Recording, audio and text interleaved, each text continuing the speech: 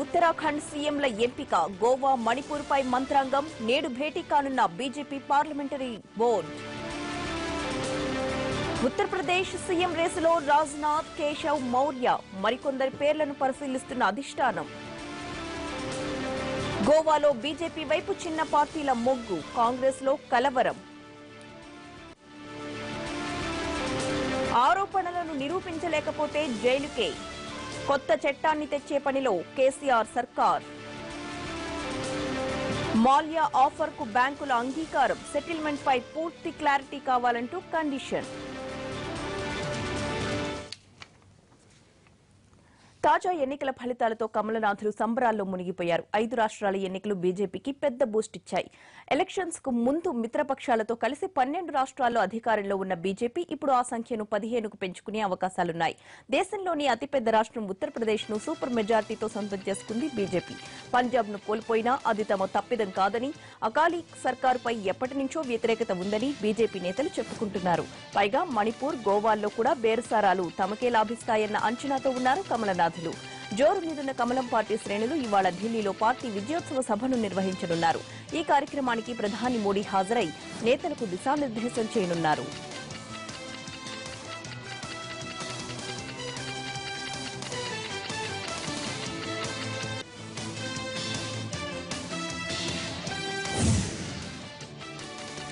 ఆంధ్రప్రదేశ్ ఉత్తరాఖండ్ ఎన్నికల్లో భారతీయ జనతా పార్టీ చరిత్రాత్మక విజయాన్ని సొంతం చేసుకుని ఆ రెండు రాష్ట్రాల్లో తిరుగులేని రాజకీయ శక్తిగా అవతరించింది. దీంతో ఇక యూపీ ఉత్తరాఖండ్ ముఖ్యమంత్రులు ఎవరు అనే దానిపై బీజేపీ క్లారిటీ ఇవ్వబోతోంది.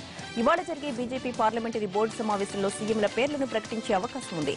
అలాగే మణిపూర్ గోవాలో ప్రభుత్వ ఏర్పాటుపై బీజేపీ బోర్డు చర్చించనుంది.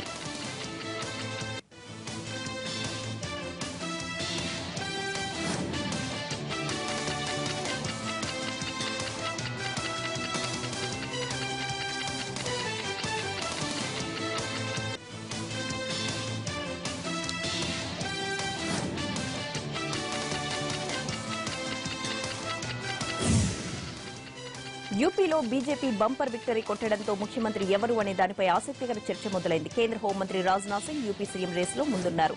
కేంద్ర టెలికాం మంత్రి మనోజ్ సిన్హా యూపీ బీజేపీ రాష్ట్ర అధ్యక్షుడు కేశవ్ ప్రసాద్ మౌర్య సంతోష్ కుమార్ గంగ్వార్కు కూడా యూపీ సీఎం ఛాన్స్ ఉంది. ఇంకా సీఎం రేసులో ఉమాభారతి యోగి ఆదిత్యనాథ్ కల్రాజ్ మిశ్రా వంటి నేతలు కూడా రేసులో ఉన్నా ప్రధానంగా ఈ నలుగురి మధ్య పోటీ ఉందంటున్నాయి బీజేపీ వర్గాలు. చివరి నిమిషంలో అనూహ్యంగా అందరికీ ఆమోదయోగ్యంగా కొత్త నేత తెరపైకొచ్చే అవకాశం లేకపోలేదనే వాదన కూడా వినిపిస్తోంది.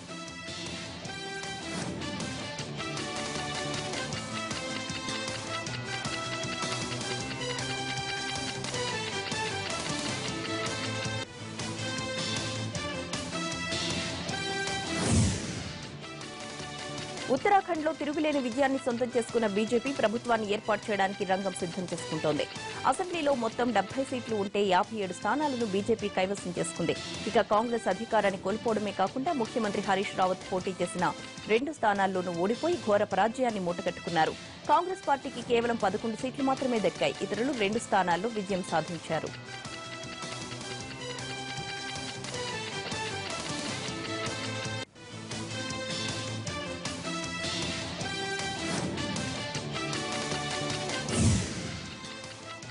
పంజాబ్లో అధికారంలోకి రావడం ఖాయం కావడంతో కాంగ్రెస్ పార్టీ ప్రభుత్వ ఏర్పాటుకు సన్నాహాలు చేసుకుంటోంది. ఆ పార్టీ ముఖ్యమంత్రి అభ్యర్థి కెప్టెన్ అమరీందర్ సింగ్ ఇవాళ సీఎల్పీ సమావేశాన్ని ఏర్పాటు చేయనున్నారు. ఈ భేటీలో ముఖ్యమంత్రి అభ్యర్థిని లాంఛనంగా ఎన్నుకోనున్నారు. రెండు వేల పద్నాలుగు సార్వత్రిక ఎన్నికల నాటి నుంచి వరుస ఓటములతో సతమతమైపోతున్న కాంగ్రెస్ పార్టీకి పంజాబ్ రూపంలో ఓ విజయం వరించింది. మొత్తం నూట పదిహేడు సీట్లు గల పంజాబ్ అసెంబ్లీలో కాంగ్రెస్ డెబ్బై ఏడు స్థానాలు దక్కించుకుంది. అధికార బీజేపీ అకాలీ కూటమి కేవలం పద్దెనిమిది స్థానాలతో సరిపెట్టుకోవాల్సి వచ్చింది. పంజాబ్లో అదృష్టం పరీక్షించుకోవాలనుకున్న ఆమ్ ఆద్మీ పార్టీకి అనూహ్యంగా ఇరవై సీట్లు దక్కాయి. ఇతరులు రెండు స్థానాల్లో గెలుపొందారు.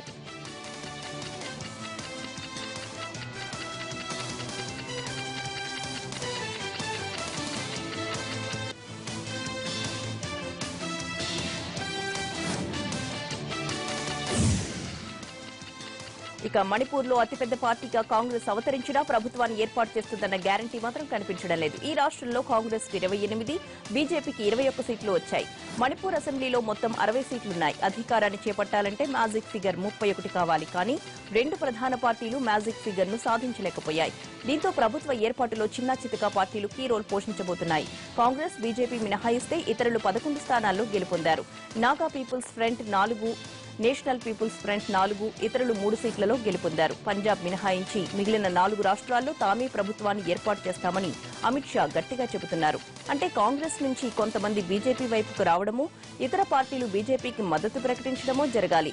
ఇరవై ఎనిమిది స్థానాలతో అతిపెద్ద పార్టీగా అవతరించిన కాంగ్రెస్ ఎలాంటి వ్యూహాలను అమలు చేస్తుంది అన్నదే ఇప్పుడు ఉత్కంఠగా మారింది.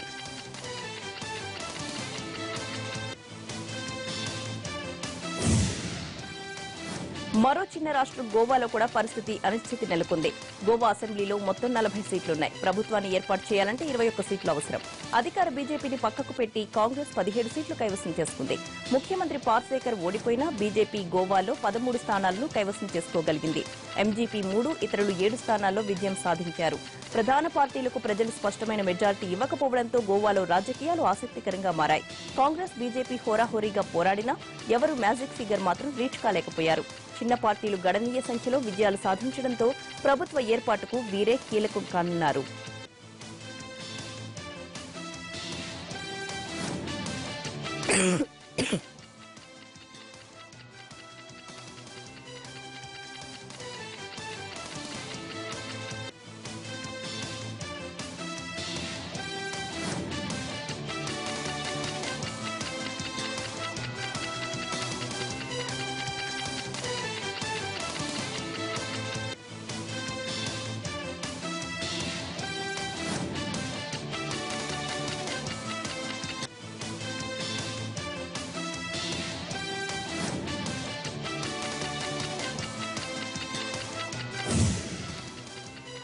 ఐదు రాష్ట్రాల ఎన్నికలకు ముందు దేశంలో తొమ్మిది రాష్ట్రాల్లో అధికారంలో ఉన్న కాంగ్రెస్ ఆ సంఖ్య మరింతగా పెంచుకోవాలనుకుంది. కానీ ఎన్నికలు ముగిసేసరికి మరో రాష్ట్రాన్ని కోల్పోయింది. ఇంకో రాష్ట్రాన్ని అదనంగా గెలుచుకుంది. దీంతో జరగబోయే రాష్ట్రపతి ఎన్నికల్లో కాంగ్రెస్ బలం మరింత క్షీణించింది. ఇక వచ్చే ఏడాది జరగనున్న కర్ణాటక ఈశాన్య రాష్ట్రాల ఎన్నికల్లో కూడా ఈ ఎన్నికల ప్రభావం ఉంటుందని మరిన్ని రాష్ట్రాలు చేజారుతాయని హస్తం శ్రేణులు ఆందోళన చెందుతున్నాయి.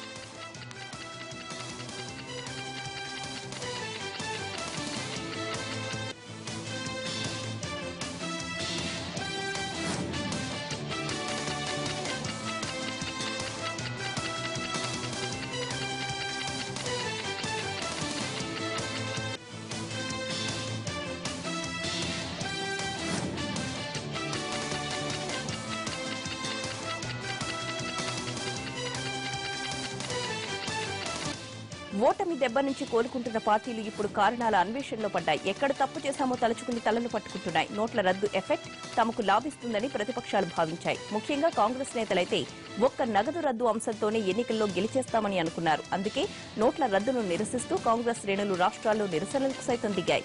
పరిస్థితులు సర్దుకుంటున్న సమయంలోనూ జన్ ఆవేదన పేరుతో అనవసర రాద్ధాంతం చేశాయి. ఆ నిర్ణయం తమకు కలిసి వస్తుందని భావిస్తే అది బూమ్రాంగ్లా ఎదురు తిరిగింది ఓ రకంగా నోట్ల రద్దును ప్రజలు స్వాగతించారు. తాము ఇబ్బంది ఇబ్బందులు ఎదుర్కొన్నా నల్లధనవంతుల్ని దెబ్బతీసే ఈ చర్యను స్వాగతించారు.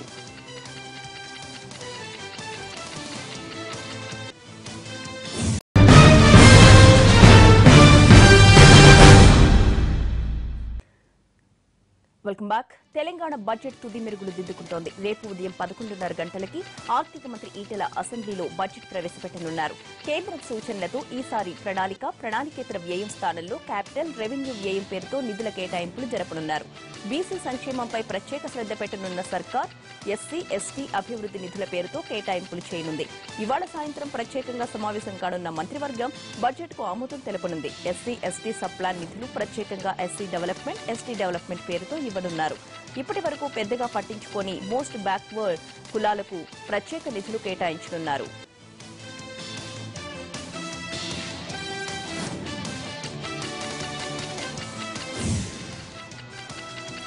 జులై నుంచి జీఎస్టీ అమల్లోకి వస్తుండటం మరోవైపు డిమానిటైజేషన్ తర్వాత ప్రవేశపెడుతున్న తెలంగాణ రాష్ట్ర తొలి బడ్జెట్ కూడా కావడంతో కేటాయింపులపై ఉత్కంఠ నెలకొంది. పద్నాలుగు శాతం వృద్ధి రేటు కన్నా తక్కువగా ఉన్న రాష్ట్రాలకు కేంద్రం నష్టపరిహారం ఇవ్వనుంది. తెలంగాణకు అది కూడా రాకపోవచ్చు. ఎఫ్ఆర్బీఏ పెంపుతో మరింత సాయం వస్తుందని అంచనా. ఒకటి రెండు రంగాల్లో డీమానిటైజేషన్ వల్ల ఆదాయం తగ్గినా మిగిలిన రంగాల్లో అధికంగా రావడంతో ఇబ్బంది లేదని చెబుతోంది. సర్కార్. గతేడాది లక్షా ముప్పై వేల కోట్ల బడ్జెట్ పెట్టిన తెలంగాణ సర్కార్ ఈసారి దానికంటే కాస్త అధికంగా పెట్టే అవకాశం ఉంది.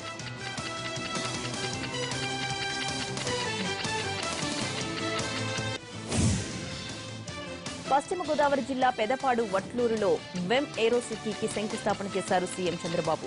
అనంతరం ప్రసంగించిన ఆయన చింతలపూడి పూర్తయితే జిల్లాకు పోలవరం పూర్తయితే రాష్ట్రంలోనే కరువు ఉండదన్నారు బాబు. ప్రపంచంలోని టాప్ ఫైవ్ రాజధానుల్లో అమరావతి ఒకటిగా ఉంటుందని ఉద్యోగాలకు యువత ఇతర ప్రాంతాలకు వెళ్ళకుండా పరిశ్రమలు ఏర్పాటు చేస్తామని అన్నారు. ఆక్వా ఫుడ్ పార్క్ ఏర్పాటు చాలా అవసరమని అయితే దీనిపై కొందరు కావాలని గందరగోళం సృష్టిస్తున్నారని అన్నారు. పరిశ్రమలను అడ్డుకునే ప్రయత్నం రాజకీయ పార్టీలు మానుకోవాలన్నారు.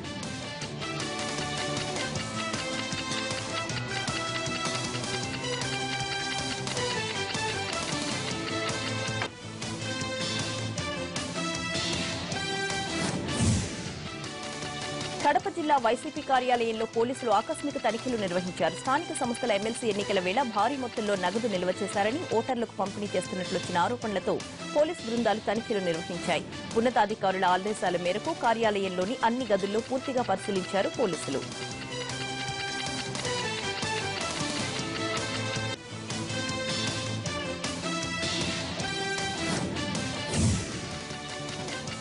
సుధీర్ కమిటీ ముస్లింలకు సూచించిన పన్నెండు శాతం రిజర్వేషన్లు సామాజిక ఆర్థిక వెనుకబాటుతనానికే తప్ప మతపరమైనవి కావని అన్నారు టీజేసీ చైర్మన్ ప్రొఫెసర్ కోదండరాం. కరీంనగర్లో ఈ అంశంపై ఏర్పాటు చేసిన చర్చాగోష్ఠిలో పాల్గొన్న ఆయన సుధీర్ కమిటీ సూచనలను వెంటనే అమలు చేయాలని డిమాండ్ చేశారు. దీనిపై మరోమారు బీసీ కమిషన్ అధ్యయనం చేస్తుండడం రిజర్వేషన్ల అమలులో జాప్యానికి కారణం కారాదన్నారు.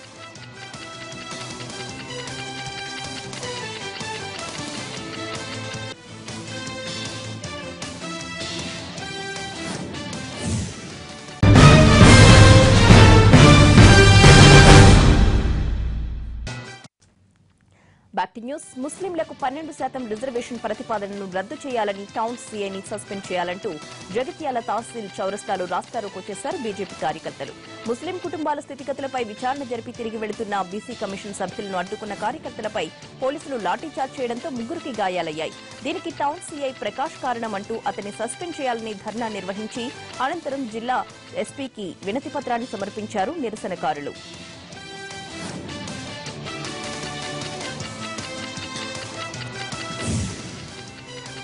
హైకోర్టు విభజన కోసం కేంద్ర ప్రభుత్వంపై ఒత్తిడి తెస్తామన్నారు మంత్రి హరీష్ రావు. సంగారెడ్డి జిల్లా కోర్టు నూట యాభై సంవత్సరాలు పూర్తి చేసుకున్న సందర్భంగా శత ఉత్సవాలు జరుపుకున్నారాయన. ఈ వేడుకకు హాజరైన హరీష్ రావు న్యాయవాదులకు అన్ని సౌకర్యాలు కల్పిస్తామని హామీ ఇచ్చారు. లాయర్ల సంక్షేమం కోసం వంద కోట్లు మంజూరు చేస్తామన్న మంత్రి ఇంద్రకరణ్ రెడ్డి అలాగే హెల్త్ కార్డులు కూడా మంజూరయ్యేలా చూస్తామన్నారు. మిర్చి రైతుకు నష్టం కలగకుండా మంచి ధర ఇప్పించడానికి ప్రభుత్వం కృషి చేస్తుందని అన్నారు వ్యవసాయ శాఖ మంత్రి ప్రత్తిపాటి పుల్లారావు. మిర్చి ఎగుమతులు పెంచడం మార్క్ ఫెడ్ ద్వారా కొనుగోలు జరిపేందుకు సిద్దమని అన్నారు. రైతు బంధు పథకం కింద అన్నదాతలకు అండగా నిలుస్తామని అన్నారు మంత్రి. తెలంగాణలో పదో తరగతి పరీక్షలకు అన్ని ఏర్పాట్లు పూర్తి చేసింది ఎస్ఎస్సీ బోర్డు. ఈ నెల పద్నాలుగు నుంచి ముప్పై వరకు ఎగ్జామ్స్ జరగనున్నాయి. ఉదయం తొమ్మిది గంటల ముప్పై నిమిషాల నుండి పన్నెండు గంటల పదిహేను నిమిషాల వరకు పరీక్ష ఉంటుంది. ఇందుకోసం రాష్ట్ర వ్యాప్తంగా రెండు వేల ఐదు వందల యాభై ఆరు కేంద్రాలు ఏర్పాటు చేశారు. ఈ ఏడాది మొత్తం ఐదు లక్షల ముప్పై ఎనిమిది వేల రెండు వందల ఇరవై ఆరు మంది పరీక్షలు రాయబోతున్నారు. ఐదు నిమిషాల ఆలస్యమైనా అనుమతిస్తారు. ఇక మాస్ కాపీయింగ్ను నిరోధించేందుకు ఈసారి సీసీ కెమెరాలను భారీగా పెంచారు. గతేడాది కేవలం పది సెంటర్లలో సీసీ కెమెరాలు ఉంటే ఈసారి మూడు వందల ముప్పై సెంటర్లలో కెమెరాలు అమర్చారు.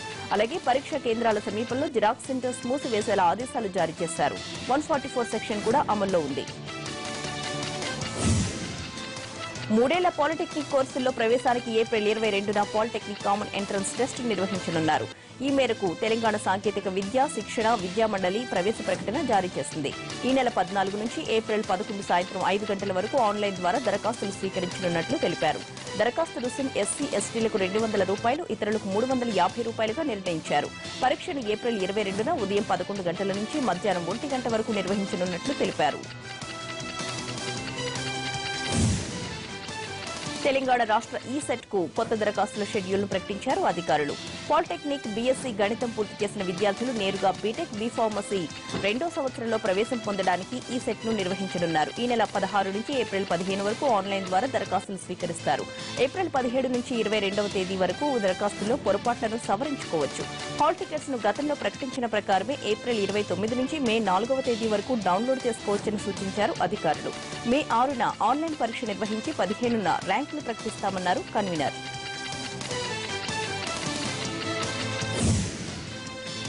ఎంటెక్లో ప్రవేశానికి కేంద్ర ప్రభుత్వ రంగ సంస్థల్లో ఉద్యోగాల కోసం నిర్వహించే గేట్ టూ థౌజండ్ సెవెంటీన్ ఫలితాలు ఈ నెల ఇరవై ఏడున వెల్లడి కాబోతున్నాయి. ఇండియన్ ఇన్స్టిట్యూట్ ఆఫ్ సైన్స్ ఐఐటీలు కలిసి ఈ పరీక్ష నిర్వహించాయి. గత ఫిబ్రవరి నాలుగు ఐదు పదకొండు పన్నెండు తేదీల్లో ఇరవై మూడు సబ్జెక్టుల్లో ఆన్లైన్ పరీక్షలు నిర్వహించగా దేశవ్యాప్తంగా ఎనిమిదిన్నర లక్షల మంది హాజరైనట్లు అంచనా. తెలుగు రాష్ట్రాల నుంచి దాదాపు లక్షా పాతిక వేల మంది పరీక్ష రాసినట్లు సమాచారం.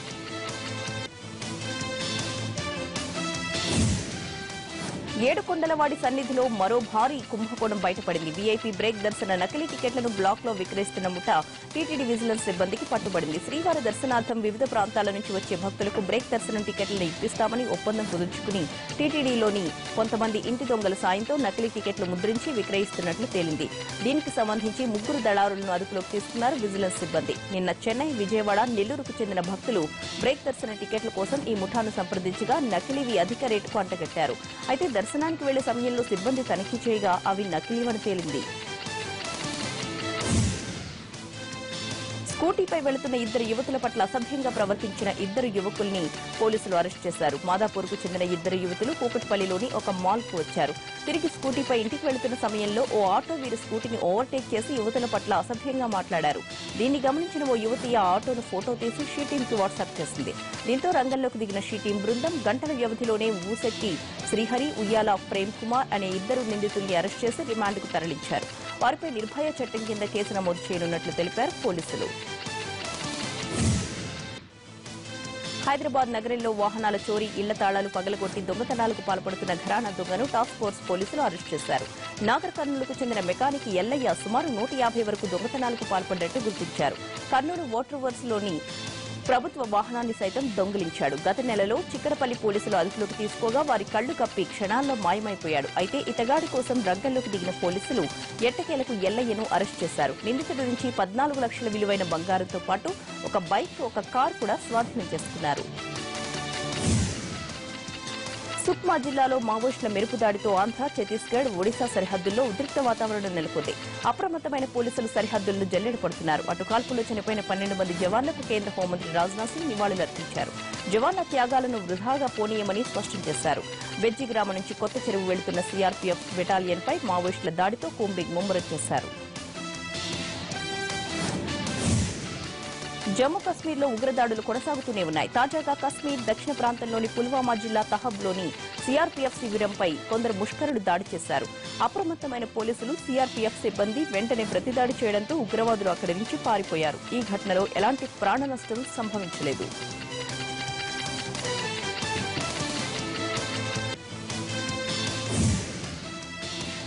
సిరియా రాజధాని డమాస్కస్ భారీ పేలుళ్ళు సంభవించాయి. జంట పేలుడు ఘటనలో అరవై మంది చనిపోగా పదుల సంఖ్యలో ప్రజలకు తీవ్రంగా గాయాలయ్యాయి.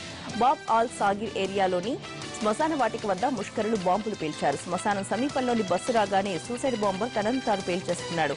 ఆ తర్వాత అక్కడే మరో బాంబు కూడా పేలింది. ఈ ఘటనతో అక్కడ భయానక వాతావరణం నెలకొంది. ఆనందాల హేళి రంగుల హోళీని దేశవ్యాప్తంగా ప్రజలు ఘనంగా జరుపుకుంటున్నారు. సంప్రదాయ పండుగలకు కొత్త హంగులు అద్దుతూ సరికొత్తగా హోళీ ఆడుతున్నారు. బంధుమిత్రులకు మిఠాయిలు తినిపించుకుంటూ రంగులు చల్లుకుంటూ ఎంజాయ్ చేస్తున్నారు. వెరైటీ గేమ్స్ రెయిన్ డ్యాన్స్ల మధ్య హోలీని కొత్తగా సెలబ్రేట్ చేసుకుంటున్నారు. హోలీ పండుగ సందర్భంగా రాష్ట్ర ప్రజలకు దేశ విదేశాల్లోని తెలుగు వారికి శుభాకాంక్షలు తెలిపారు ఏపీ సీఎం చంద్రబాబు. చెడుపై మంచి విజయం సాధిస్తుందని చెప్పే పండుగల్లో హోలీకి ఎంతో ప్రాధాన్యత ఉందన్నారు చంద్రబాబు. ప్రకృతితో అనుసంధానమైన పండుగ హోలీ అన్న సీఎం పువ్వులు చెట్టు బెరెళ్ళు ఆకుల నుంచి తయారు చేసిన రంగుల్ని మాత్రమే వినియోగించాలని పిలుపునిచ్చారు. మరోవైపు హోలీ పండుగ సందర్భంగా తెలుగు ప్రజలకు వైసీపీ అధ్యక్షుడు జగన్మోహన్ రెడ్డి కూడా శుభాకాంక్షలు తెలియజేశారు. రంగుల పండుగ హోలీని అందరూ ఆనందోత్సాహాలతో జరుపుకోవాలని ఆకాంక్షించారు ఆయన. అంతర్జాతీయ స్థాయిలో ఖరీదైన వైద్యాన్ని పేదలకు తక్కువ ధరకు అందించేందుకే Basavatarakam Indo American cancer hospital స్థాపించామన్నారు Balakrishna. హాస్పిటల్తో సర్జరీ లైఫ్ సర్జికల్ వర్క్ షాప్ను కూడా ప్రారంభించారు బాలకృష్ణ. ఏపీలోనూ బసవతారకం క్యాన్సర్ హాస్పిటల్ ఏర్పాటు చేసి పేదలకు మెరుగైన వైద్యం అందిస్తామన్నారు.